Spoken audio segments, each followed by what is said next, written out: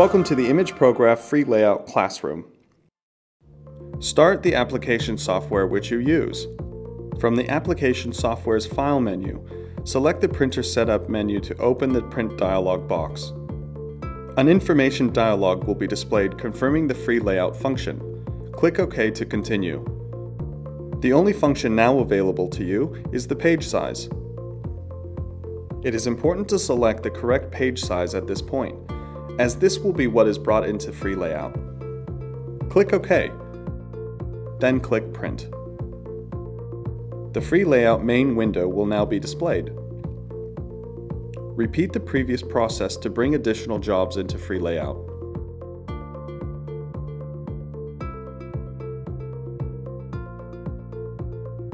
The free layout main window consists of the menu and toolbars, layout area, and status bar. To change the size of an object, first select it ensuring a blue border appears around it. Place the pointer at a corner of the selection box around the object to show the arrow handle, and drag this handle to change the object size. To resize by specifying a scaling value, right-click an object and select Format. Click on the Enlarge Reduce checkbox and enter a number between 25 and 600. Click the Position tab to specify an object position. Select OK to confirm the changes. To change the frame style of the object, go to the File menu and click Preferences. The following settings are available for the object frame style. None, Solid Line, Dotted Line, dashed line, and crop marks. To change frame spacing, enter the desired value. Click OK to continue. The selected frame style will now be displayed. To arrange your objects to the spacing value specified, click the Auto Arrange icon in the toolbar.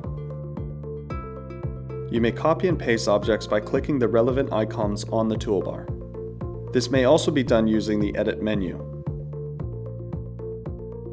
To move an object, place the pointer inside the selection box of the object to show the crosshair handle and drag it to move the object. To change the zoom level, select the zoom icon from the toolbar.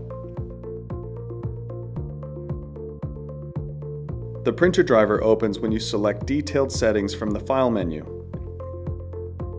The printer driver is used to configure basic settings to match the type of media loaded in the printer. Please refer to the Driver Basic Classroom video for more information on configuring your print driver.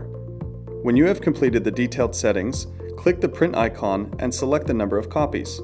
This window will also display the amount of paper that will be consumed for the print job.